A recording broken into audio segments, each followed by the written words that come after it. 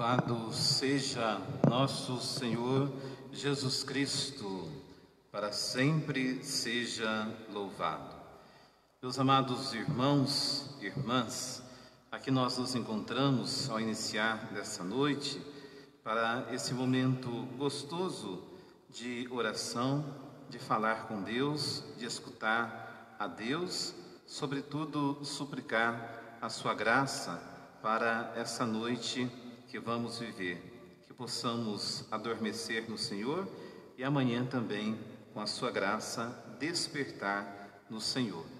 Quero agradecer a vocês que estão unidos conosco, pude ver o rosto de muitas pessoas aqui da nossa comunidade paroquial e outros amigos tantos de outras comunidades que estão nos acompanhando nesse momento de oração. E assim, queridos irmãos, vivemos mais um dia, mas outro dia findou e viemos aqui para conversar com Deus. Mas outra noite chegou e viemos agradecer a Deus antes de repousar. Andei o dia inteiro procurando o meu irmão eu quis ser instrumento do teu amor, do teu, do teu perdão.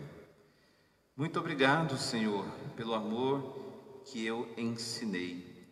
Muito obrigado pelo que eu recebi. Muito obrigado, Senhor, pela dor que suavizei, por sorrisos que sorri. Sou peregrino do amor e venho agradecer o dia que vivi Houve tristeza, Senhor, mas eu não quis sofrer, pois caminhei em Ti. Vinde, ó Deus, em nosso auxílio, Senhor, socorrei-nos e salvai-nos. Glória ao Pai, ao Filho e ao Espírito Santo, como era no princípio, agora e sempre. Amém. Agora que o clarão da luz se apaga, a vós nós imploramos, Criador, com vossa paternal misericórdia, guardai-nos sobre a luz do vosso amor. Os nossos corações sonhem convosco, no sono possam eles vos sentir. Cantemos novamente a vossa glória ao brilho da manhã que vai surgir. Saúde concedei-nos nesta vida, as nossas energias renovai. Da noite a pavorosa escuridão, com vossa claridade iluminai. Ó Pai, prestai ouvido às nossas preces.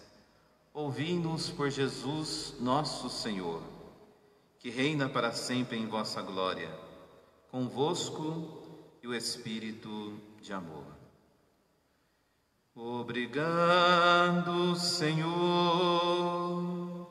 porque és meu amigo, porque sempre comigo tu estás a falar no perfume das flores, na harmonia das cores e no mar que murmura o teu nome a rezar. Escondido tu estás, oh, no verde das florestas, oh, nas aves em festa, oh, no sol a brilhar, na sombra que abriga, oh, na brisa amiga, oh, na fonte que corre, ligeira cantar, ligeira cantar te agradeço ainda porque na alegria ou na dor de cada dia posso te encontrar. Quando a dor me consome, murmuro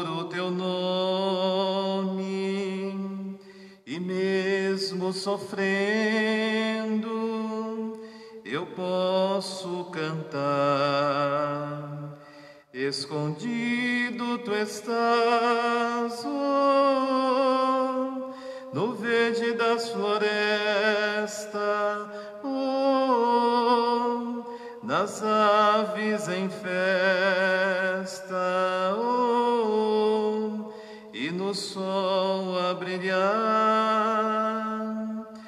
Escondido tu estás, oh, no verde das florestas, oh, nas aves em festa, oh, e no sol a brilhar. Meus queridos irmãos, após elevarmos esse cântico, de louvor ao Senhor nosso Deus, eu quero convidá-los para que nós possamos ouvir um trecho do Evangelho de Lucas, no capítulo 10, os versículos de 38 a 42.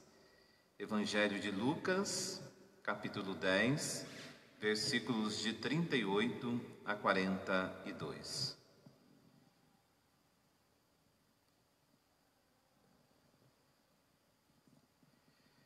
Naquele tempo, Jesus entrou num povoado e certa mulher de nome Marta recebeu-o em sua casa. Sua irmã, chamada Maria, sentou-se aos pés do Senhor, escutava a sua palavra. Marta, porém, estava ocupada com muitos afazeres.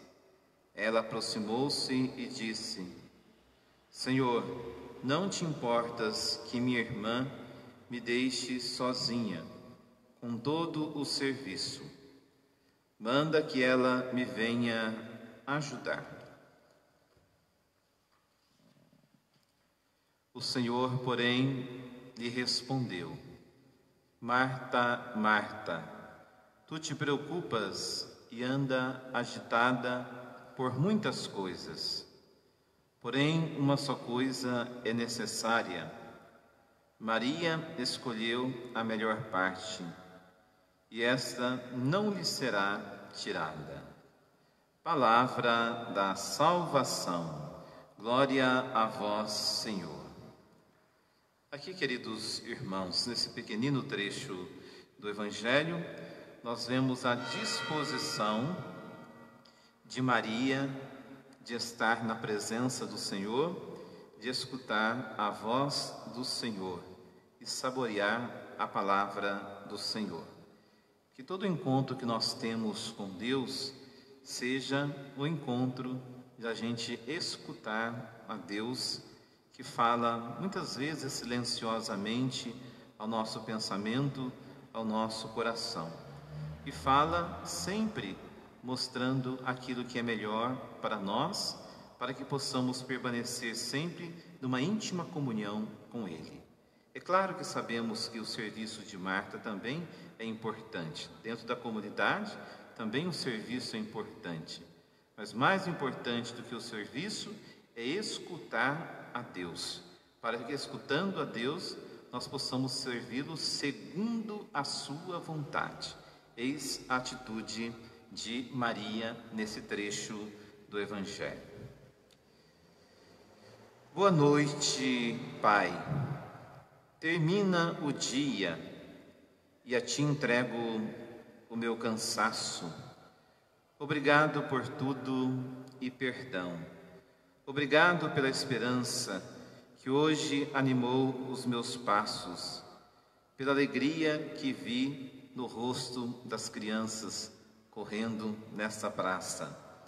Obrigado pelo exemplo que recebi daquele meu irmão, daquele meu irmão que veio hoje pedir comida à porta da minha casa. Eu não queria recebê-lo. Minha sobrinha petitinha, de quatro anos, Júlia, deu atenção a ele e foi buscar um copo de água e depois disse à mãe que estava comigo em casa: dá alguma coisa para ele comer. Obrigado também pelas coisas que me fizeram sofrer. Obrigado, porque naquele momento de desânimo lembrei que tu és meu Pai. Obrigado pela luz, pela noite, pela brisa, pela comida, pelo meu desejo de superação.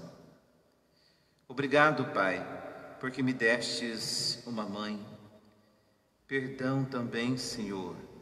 Perdão pelo meu rosto, pelo meu rosto carrancudo Perdão, porque não me lembrei que não sou filho único, mas irmãos de muitos irmãos.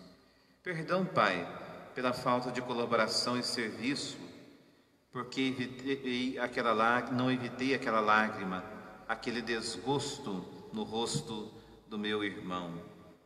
Perdão por ter guardado para mim a tua mensagem de amor Perdão por não ter sabido hoje entregar-me e dizer sim como Maria.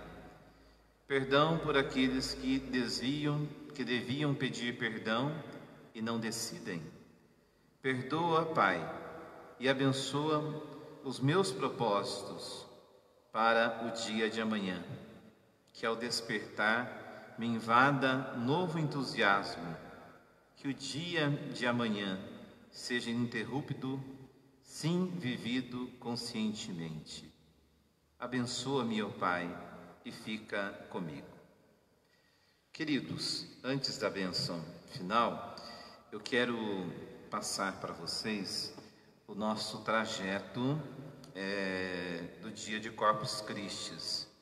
Lembrando que dia de Corpus Christi é dia 11 de junho, uma quinta-feira, nós vamos ter aqui na Igreja Matriz a missa às duas horas da tarde. A missa sem povo, como está acontecendo em nossa comunidade. Depois da missa, eu convido para a gente fazer uma carreata pelas ruas da nossa cidade, levando Jesus a abençoar as nossas casas, nossos lares também abençoar o nosso comércio, o nosso povo. É o único dia que a igreja permite que o Santíssimo Sacramento saia templo e vá pelas ruas. Então nós teremos um trajeto que eu vou passar agora para vocês. Então vou passar o trajeto Nós vamos sair em frente aqui a igreja matriz. Depois saímos aqui, passamos em frente ao asilo. Seguimos pela rua Gregório Mota. Entramos na Avenida JK. Depois entramos na rua Mário Renó que nós chamamos a Rua da Feira, né?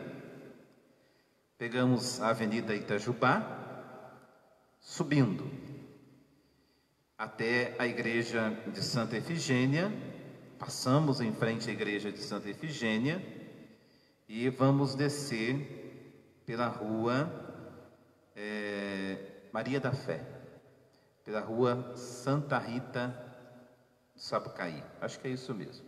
Não descendo eu, eu que estou fazendo confusão. Nós vamos descer pela rua São José do Alegre. É isso. Tá? A geografia da cidade ainda está vindo na minha cabeça.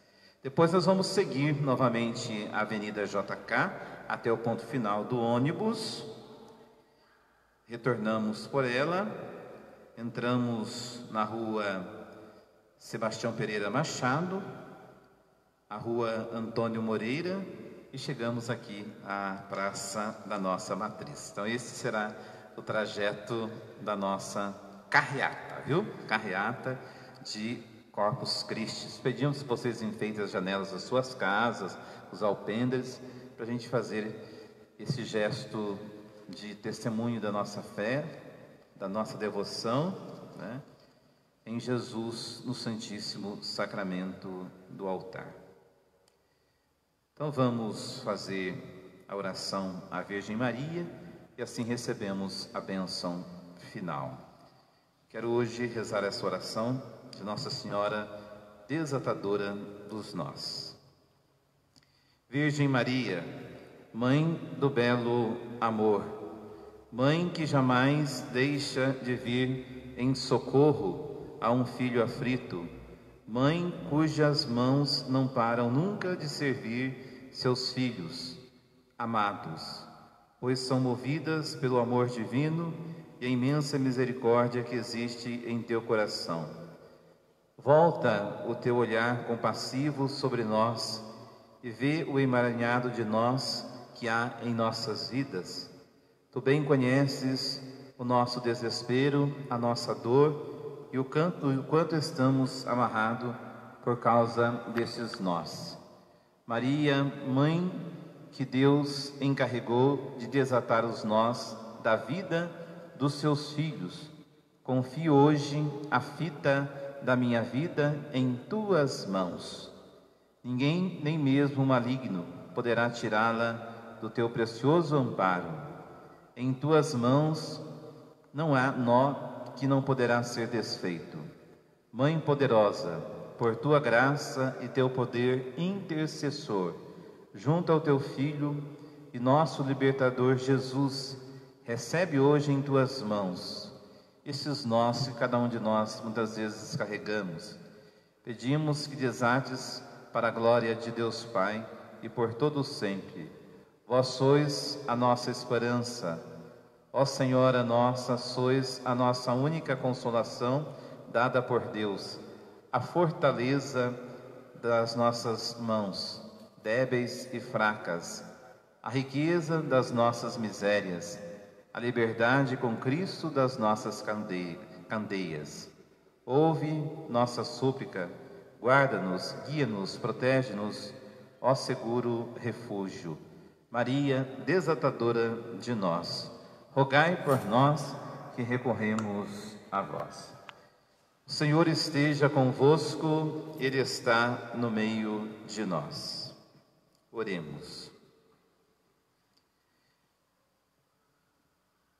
Abençoe-vos, Senhor, o vosso povo reunido neste momento em oração, através dessas redes sociais, para que possam descansar na paz que vem de vós.